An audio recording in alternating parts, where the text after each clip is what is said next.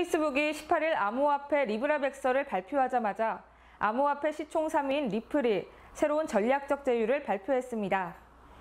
리브라 출시로 리플이 직격탄을 맞을 것이란 전망이 나오는 가운데 리스크 관리에 들어간 모습으로 풀이됩니다.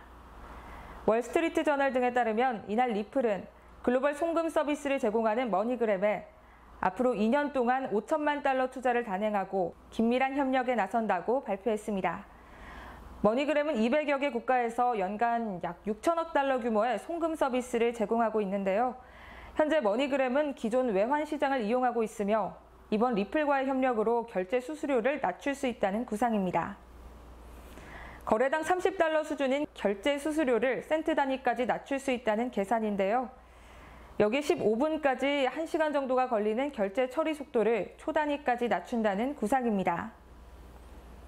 브래드 갈링하우스 리플 최고 경영자는 리브라 출시 전 블룸버그와의 인터뷰를 통해 이렇게 밝혔는데요.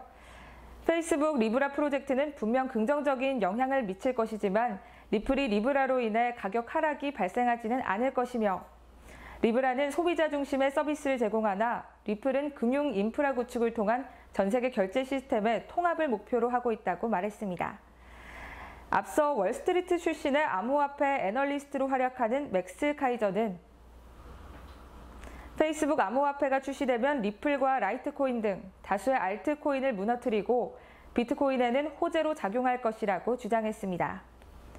이에 데이비드 슈와츠 리플 최고 기술 책임자는 나는 리플에 대한 기본적인 이해가 부족한 의견들을 좋아한다며 이러한 주장들은 비트코인과 그 밖의 것으로 분류하려는 비트코인 미니멀리스트들의 주장에 불과하다고 곧장 반박에 나섰습니다. 한편 리브라 백서가 발표되면 암호화폐 시장이 상승세를 탈 것이란 전망이 나오기도 했으나 아직까지 상승 기류는 보이지 않고 있습니다. 19일 오후 1시 기준 국내 최대 암호화폐 거래소 업비트에서 비트코인은 1,095만 원을 기록하고 있습니다. 같은 시간 CoinMarketCap에서도 1,080만 원을 기록하며 전날보다 다소 떨어진 모습입니다. 관련 업계는 리브라 발표가 기존 암호화폐 시장의 악재가 될 수 있다는 비관적인 시각과 관망세가 혼재됐다는 견해입니다.